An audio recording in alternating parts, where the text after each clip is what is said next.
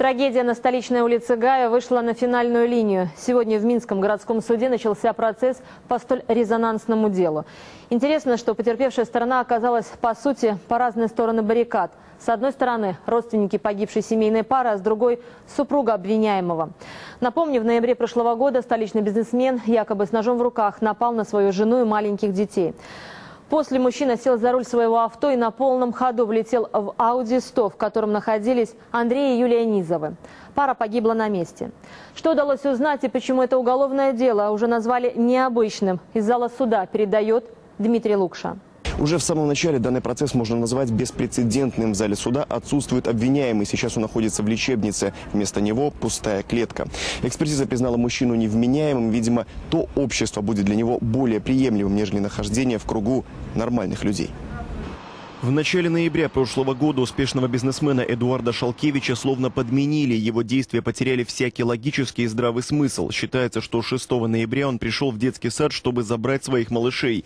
В какой-то момент мужчина достал из пакета нож и в присутствии детей и немногочисленных родителей сказал «Не смотрите мне в глаза». Что хотел этим сказать и уж тем более сделать 39-летний мужчина, так и осталось непонятным. Однако после инцидента все семейство спокойно вышло из сада и уехало на пикник. Настоящий ад начался немного позже, через сутки. Эдуард все-таки пустил нож в ход. Словно обезумев, он набросился на свою супругу и сполосовал лезвием ее и детей. А дальше улица, машина, бессмысленное и жестокое убийство. Я сначала подумала, что это шутка. Говорю, Леша, если это шутка, то это плохая шутка.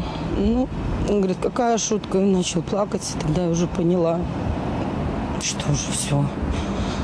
А мама стояла там, разговаривала с соседкой, я не знала, как ей сказать. Позвала ее свекровь, ну, и я ей сообщила, что Юля погибла вместе с Андреем.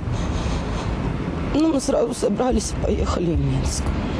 Анастасия одной из первых узнала о чудовищной новости. Сестры и ее мужа больше нет. В тот вечер семья Низовых собиралась съездить отдохнуть на природу. Вместо этого бригады скорой, милиции и ужасающая белая простыня поверх бездыханных тел. Шалкевич, усевший в свою машину, без причины протаранил на полном ходу четыре автомобиля. Пятым оказалось именно авто Низовых. По злой иронии погибший Андрей многие годы отдал помощи людям, работал врачом. Именно коллеги жертвы из той же подстанции были вынуждены констатировать смерть друга. Просто на одного достойного человека в мире стало меньше. Который все время помогал, который для людей, который на скорой помощи всегда, сколько, 17 лет, наверное, он. Нет, больше. Даже или больше. Или 20. Он, он с армии пришел и сразу.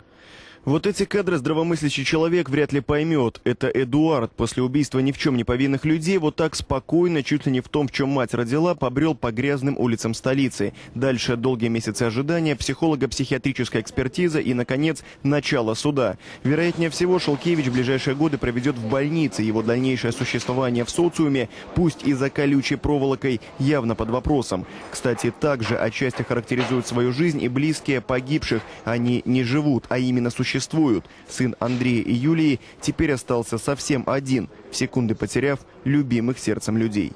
Дмитрий Лукший, Денис Гатила, Зона X, Минск.